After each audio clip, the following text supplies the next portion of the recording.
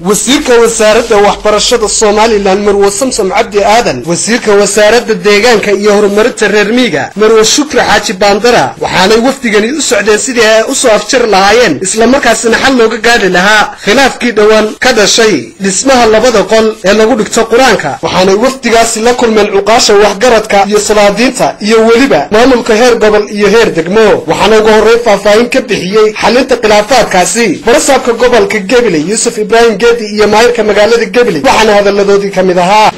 Arrintii taraato dhacday ee safgarabaha uu dhacday ee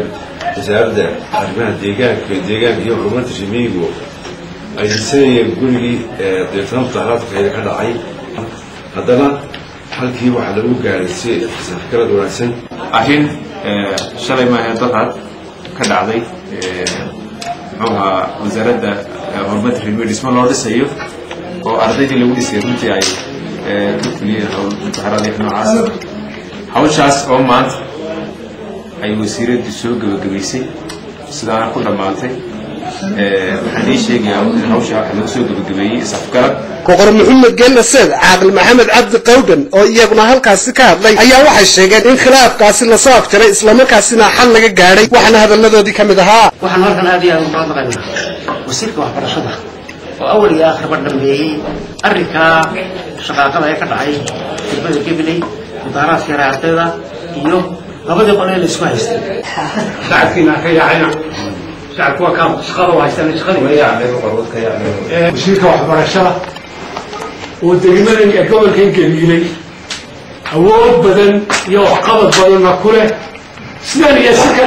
badanna wax badan wax ugu qabatay wasiiriyadda kalena sidoo kale isaguna macalin cabdijigna oo ah macalinka isagu qur'aanka ku dhiga labadan maqsin ayaa wasiirka wasaaradda waxbarashada somalilan uga mahad celiyey sida wanaagsan ee ay uga aqbashay rabitaankiisa islamarkaasina ay u soo afjartay khilaafkaasi. Intii taagnaydna wasiiradaasi baa dhameeyey wasiir samsom ay kow ka tahay. Wasiir shukrina ay laba ka tahay iyo meeyarka degmada oo gacanta ugu weyn isagu ka geystay gacantana arrinka ku soo hayn jiray gabagabadii waxaa soo afmeeray munaasabadaasi wasiirka wasaaradda waxbarashada somalilan marwe samsom cabdi aadan iyo wasiirka wasaaradda deegaanka iyo horumarinta reemiga marwe shukri xaaji baandara waxaana hadalladoodii ka mid ahaa waxa weeyaan annagu halkaan ku soo galay waxa weeyaan waa run macallin baa meesha ku jiray ardaydii waa weeyaan kuwa wax jajabiyey dhibaataa dhacday runtii dhibaatadaas aynu uga hortagnooday mar dambana u dhicin maalinta xalkan aynu helay runtii wuu inaga soo afjaray laakiinse inaynu dee wax isweydiinay buu ahay aynu taasoo kale si aanay noogu soo noqon aynu ogaano way khaladaad baa dhici karaa warqad dadkiioo hadda meel wada joogaan haddana sugeen laakiinse waxaa ka asala maanta inaynu inagus wadama fadhino heshiino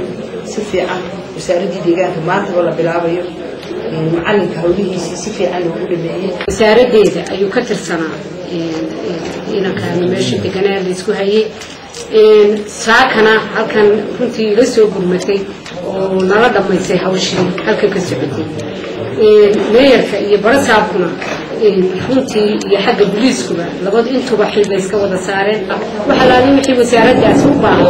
waanu keenayna haddii ilaahay nafta noogu simo ilaa bisha shanaad baanu u soo dhammaanay qalabkii wax walba u dhammaanay. Halkaa waxaa ka muuqan doontaa in wasaaradda la doonayo gabil gobolka gabiilay meesha lagu tahay inuu laba kacleeyo